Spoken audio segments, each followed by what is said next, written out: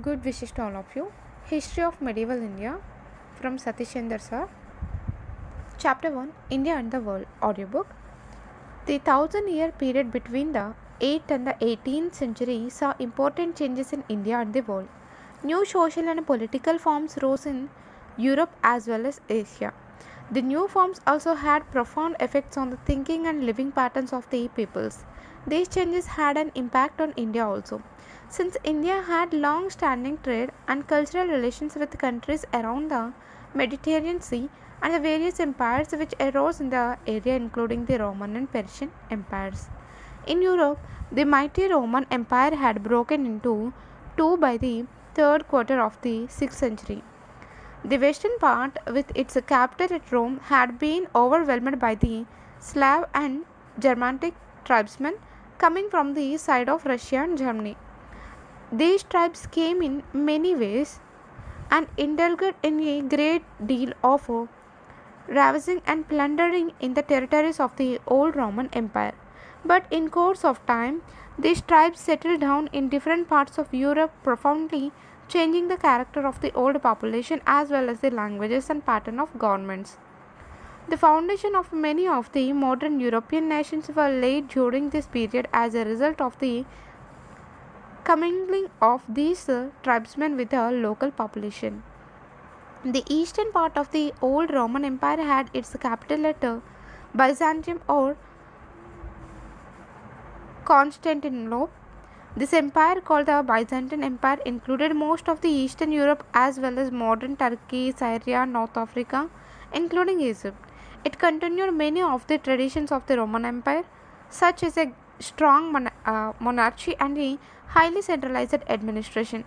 However, in belief and ritual, it had many differences with the Catholic Church in the West, which, uh, which had its uh, headquarters at Rome. The church in the east was called the Greek Orthodox Church. It was due to its effort and those of the Byzantine rules that Russia was converted to Christianity. The Byzantium Empire was a large and flourishing empire which continued to trade with Asia after the collapse of the Roman Empire in the West. It created traditions of government and culture, many of which are later absorbed by the Arabs when they overran Syria and Egypt. It also acted as a bridge between the Greco Roman civilization and the Arab world and later helped in the revival of Greek learning in the West. It disappeared finally in the middle of the 15th century when Constantinople fell to the Turks. For centuries after the collapse of the Roman Empire in the West, the cities virtually disappeared in Western Europe. One cause of this was the absence of gold, which the Romans had obtained from Africa and used for trade with the Orient. The period between the 6th and 10th centuries was for long called dark by historians. However, this was also a period of agricultural expansion which prepared the way for the revival of city city life from the 10th century and the growth of foreign trade. Between the 12th and the 14th century, Western Europe was again able to attain a high level of prosperity. A notable feature of this period was the growth of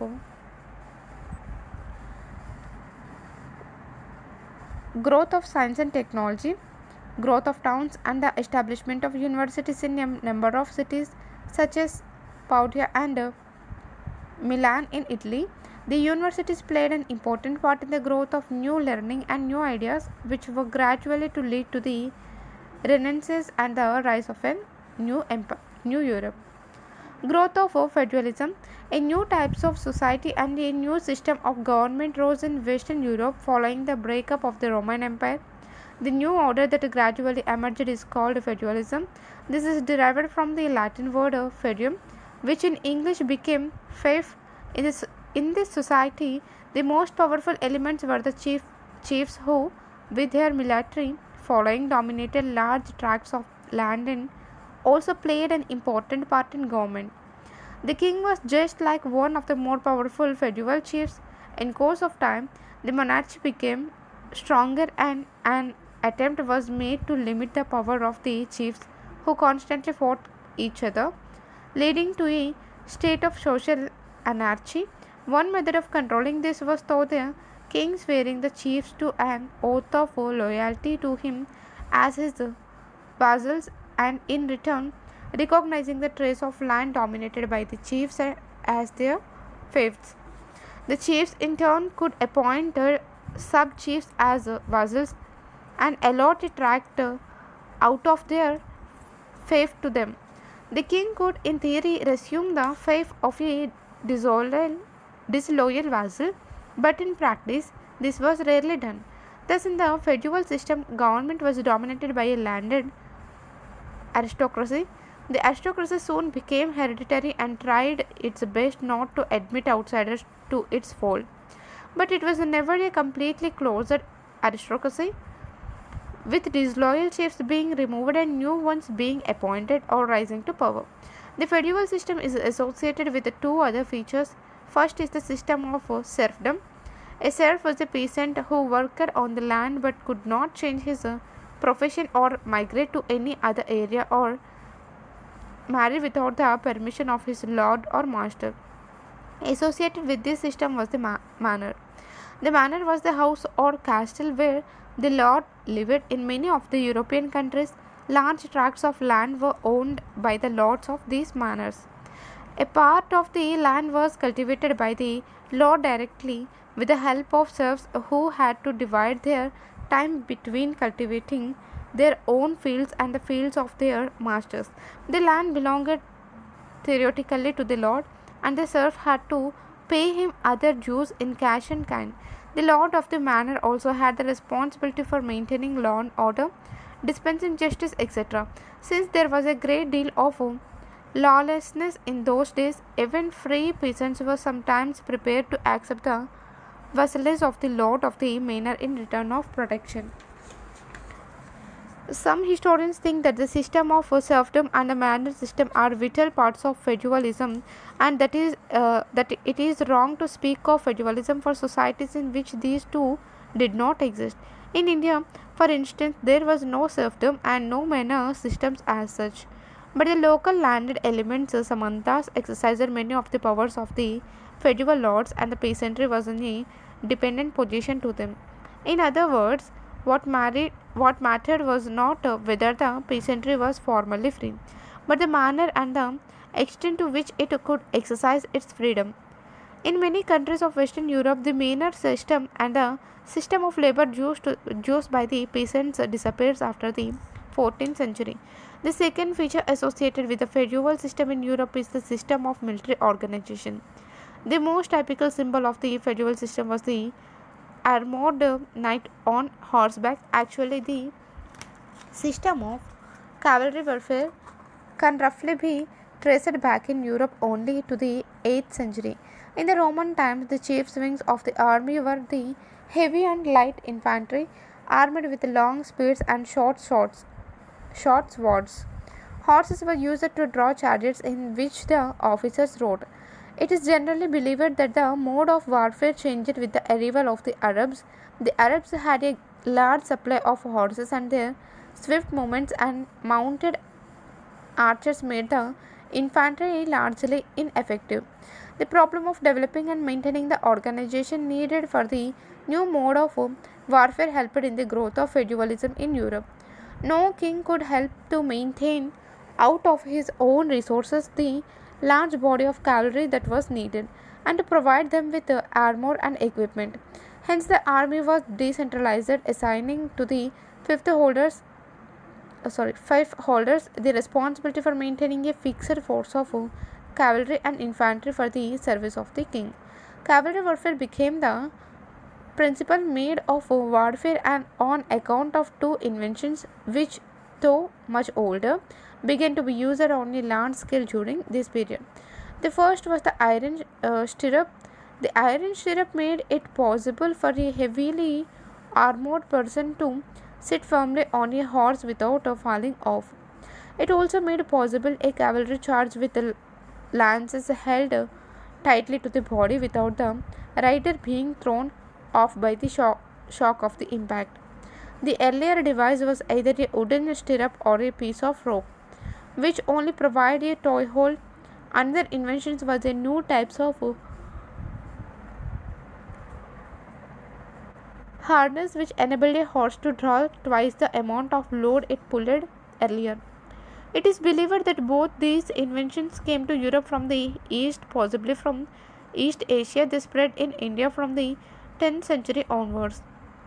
Thus, many factors, political, economic, and military, were responsible for the growth of feudalism in Europe.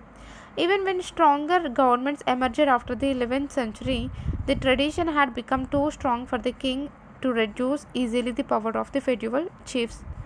Apart from the system of feudalism, the pattern of life in Europe during uh, what is called the medieval period was also shaped by the Christian Church.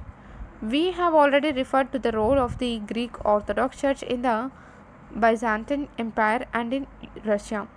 In the absence of a powerful empire in the West, the Catholic Church took on some of the functions of the governments as well. The Pope, who was the head of the Catholic Church, became not only a religious head but also a figure who exercised a great deal of political and moral authority. In Europe, as in West Asia and in India, the medieval age was an age of religion, and those who spoke on behalf of religion exercised a great deal of power and influence. With the help of grants of land from the princes and feudal chiefs the and donations from rich merchants, many monastic orders and monasteries were set up. Some of these orders, such as that of the uh, Franciscans, served the needy and the poor. Many monasteries gave medical help or shelter to the travelers. They also served as centers for education and learning. In this way, the, Catholic, uh, the Catholic Church played an important role in the cultural life of Europe. However, some of the monasteries which became exceedingly wealthy began to behave like feudal lords. This led to internal discord and conflict with the rulers who resented the worldly power of the church and of the popes. This conflict was reflected in the Renaissance and reform movements later on. The Arab world. The rise of Islam from the 7th century onwards was instrumental in uniting the warring Arab tribes into a powerful empire. The Arab Empire, founded by the early caliphs, embraced apart from Arabia, Syria, Iraq, Iran, Egypt, North Africa, and Spain. Following internal differences and civil war among the Arab tribes in the middle of the 8th century, the caliph at uh, Damascus was uh, displaced and a new dynasty called the Abbasids came to power. They set up their capital at the newly founded city of Baghdad. The Abbasids claimed to belong to the same tribe to who, which the Prophet Muhammad belonged, and were for that reason considered holy. For about 150 years, the Abbasid Empire was one of the most powerful and flourishing empires in the world. At its height, it included all the important centers of civilization in the area, with parts of North Africa, Egypt, Syria, Iraq, and Iran. The Abbasids controlled not only some of the most important religions of West Asia and North Africa, but also commanded the important trade routes li- linking the Mediterranean world with India.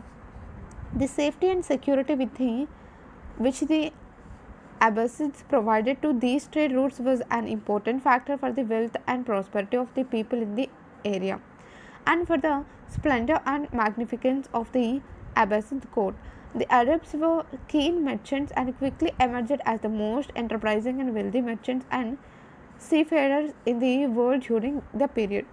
Numerous cities, uh, which uh, numerous cities with uh, magnific- magnificent uh, buildings, both private and public, arose. The stand of standard of uh, living and the cultural environment of the Arab towns could hardly be paralleled in any country in the world during the period. The Arabs also established the gold dinar and the silver dirham, which became the currency of trade all over the world. This was made possible by the Arab access to African gold. The Arabs also established double entry bookkeeping, advanced accountancy, and large scale and elaborate banking and credit, including bills of exchange, hundis. The most famous caliphs of this period were Al Mamun and Harun al Rashid. The splendor of their court and their places and of their patronage to men of science and learning became the subject of numerous stories and legends. During the early period, the Arabs displayed a remarkable capacity for assimilating the scientific knowledge and administrative skills of the ancient civilization they had overrun. For managing the administration, they had no hesitation in employing non Muslims uh, such as Christians and Jews and also non Arabs, particularly the Iranians, many of whom were Zoroastrians or even Buddhists. Although the Abbasid caliphs were orthodox Muslims, they opened wide the gates of learning from all quarters as long as it did not challenge the fundamental tenets of Islam. The Caliph al Mamun set up a house of wisdom, Bait ul Hikmat, at Baghdad for translating into Arabic the learning from various civilizations Greek, Byzantine, Egyptian, Iranian, and Indian. The example set by the caliphs was followed by individual nobles. In a short space of time, almost all the important scientific works of the various countries had become available in Arabic. We know a good deal about the impact of Greek science and philosophy on the Arabs, largely due to the work done in recent years by the devoted band of European scholars. We are also beginning to have a better idea of the impact of Chinese science and philosophy on the Arab world. Many Chinese inventions, such as the compass, paper, printing, gunpowder, and even the humble wheelbarrow, barrow traveled from China to Europe via the Arabs during this period. The famous Venetian traveler Marco Polo traveled to China in order to know more about it and to bridge the Arab monopoly on Europe's trade with China. Unfortunately, we have only limited knowledge of India's economic and cultural relations with the Arab world during the period and India's scientific contribution to it. After its conquest by the Arabs in the 8th century,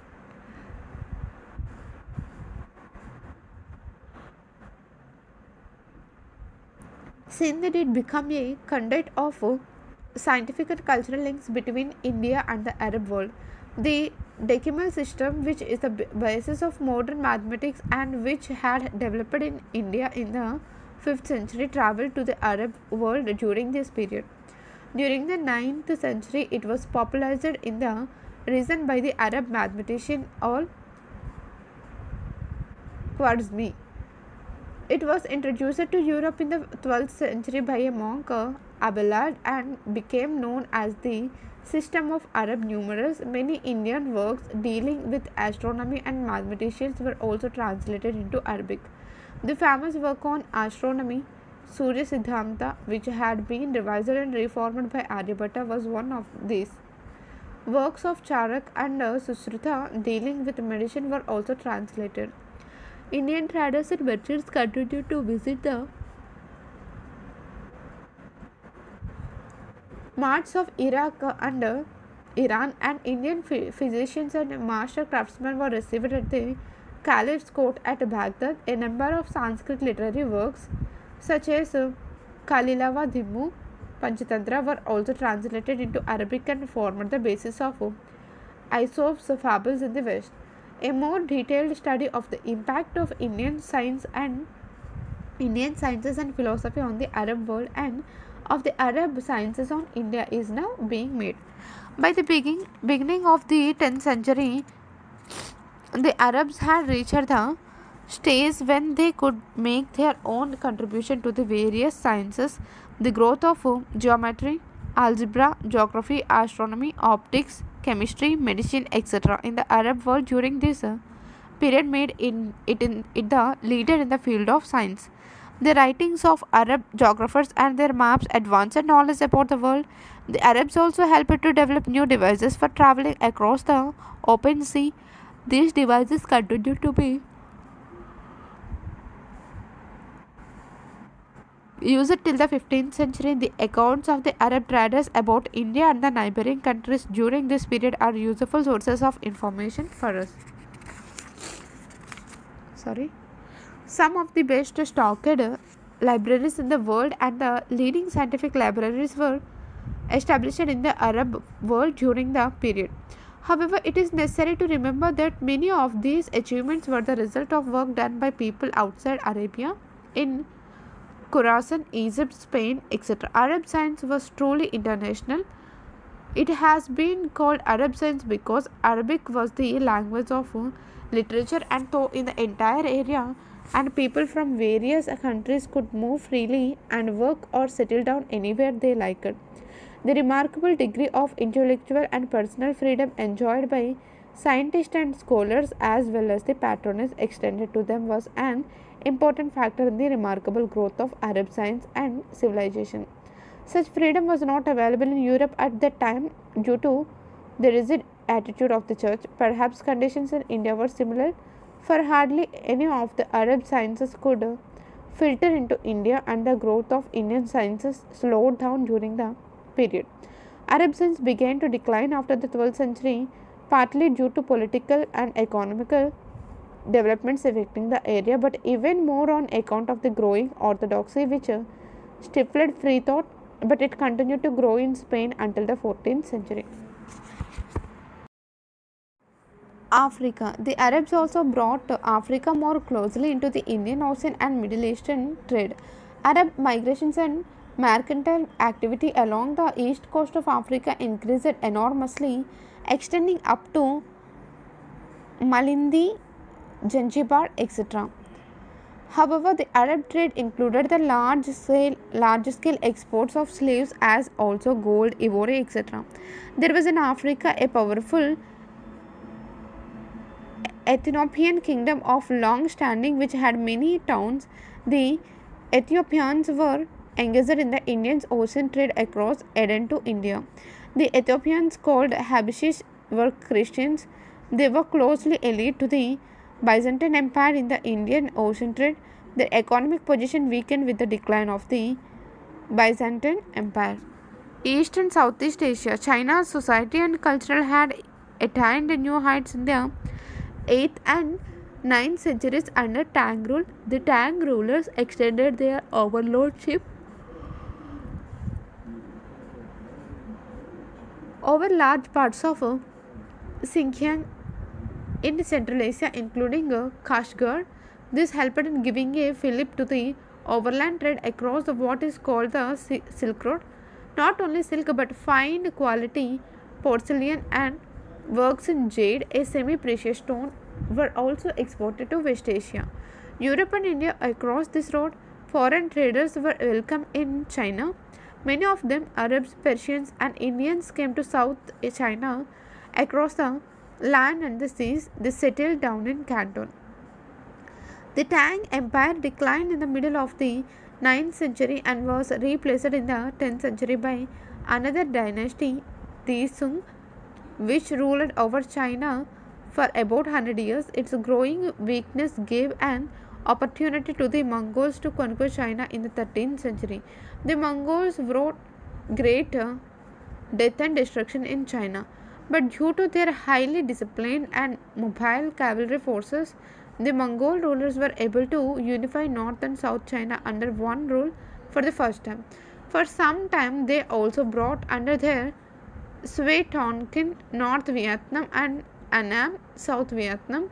In the north, they overran Korea. Thus, the Mongols established one of the largest empires in East Asia. The Vietnam traveler Marco Polo, who spent uh, some time at the court of um, Kublai Khan, the, famous, the most famous of the Mongol rulers of China, has left a picturesque account of his court. Marco Polo returned to Italy by sea, visiting Malabar in India on the way. These already different parts of the world were coming closer together and their commercial and cultural contacts were increasing. The countries of Southeast Asia had to meet the expansionist argues of some of the Chinese rulers. China having developed a strong navy by this time, but during most of the time, the Southeast Asian states remained independent. The most, the two most powerful kingdoms which flourished in the region during the period were the Sailendra and Kambuja empires. The Sailendra dynasty, which arose in the 8th century and constituted the Sri Vijaya Empire, flourished till the 10th century. At its height, the empire included Sumatra, Java, the Malaya Peninsula, parts of Oceania, modern Thailand, and even the Philippines. According to a 9th century Arab writer, the empire was so large that even the fastest vessel could not complete a round trip of it in uh, two years. The Sailendra rulers had a powerful navy and dominated the sea trade to China. The Sri Vijaya Empire was replaced by the Majapahit Empire in the 11th century and further extended the limits of the Sri Vijaya Empire and continued till the 14th century. The Pallavas of South India also had a powerful navy. The Pallava navy was especially active in the Bay of Bengal. The sea trade with the countries of Southeast Asia and China was so important that in 10th century, a Chola ruler sent a series of naval expeditions to Sumatra and Malaya to keep the sea lanes of communication open. Since the early centuries of the Christian era and even before, India had close trade and cultural contacts with the countries of the area.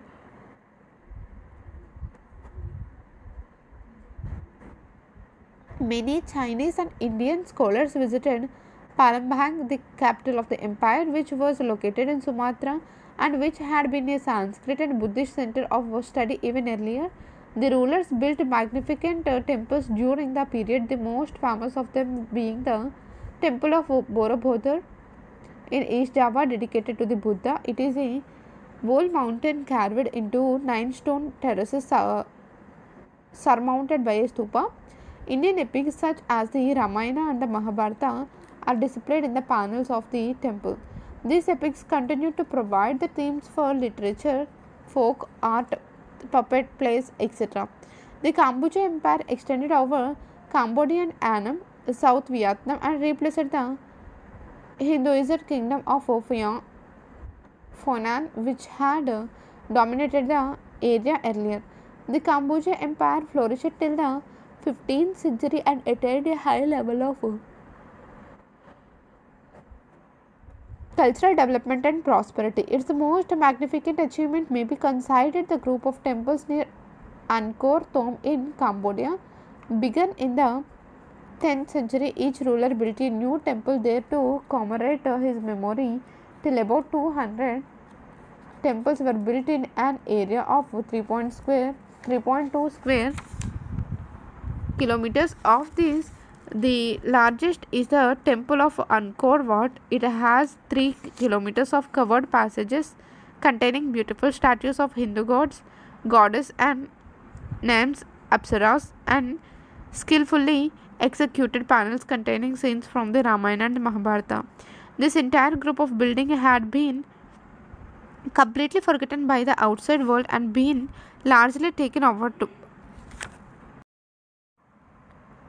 over by the jungle till it was discovered by a Frenchman in 1860.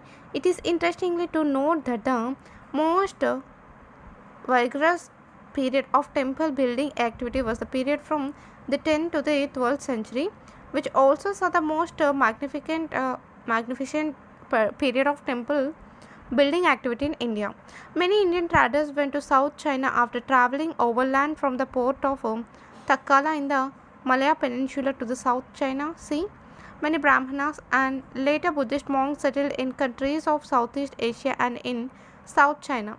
Buddhism traveled from China to Korea and Japan. India monks reached Korea, Korea and influenced the evolution of a Korean script close to the Indian one. While Buddhism declined in India in course of time, it, it continued to flourish in Southeast Asia. In fact, it is uh, assimilated the Hindu gods into the Buddhist fold and even took over the Hindu temples, a movement opposite to what was happening in India at that time. Thus, India had close commercial and cultural contacts with the West, Southeast Asia, China, as also Madagascar and countries on the east coast of Africa. The various kingdoms in Southeast Asia acted as a kind of a bridge for commercial and cultural contacts between India and China. and the outside world. Though deeply influenced by Indian civilization and culture, they were able to attain a distinctive culture of their own of a very high order. Arab traders who had been trading with uh, South India and with the countries of uh, Southeast Asia earlier became even more active after the establishment of the Abbasid Empire. But the Arabs did not displace the Indian traders and preachers in the early phase. They did not make any special effort to convert the people of the area to Islam. Thus, a remarkable degree of religious freedom and tolerance and the commingling, commingling of various cultures marked these countries a characteristic they have retained even today. The conversion of Indonesia and Malaya to Islam took place gradually after Islam had consolidated its position in India. Elsewhere, Buddhism continued to flourish. Commercial and cultural contacts between India and these countries were snapped only with the establishment of the Dutch rule in Indonesia, the English rule in India, Burma, and Malaya, and later the French rule in Indochina.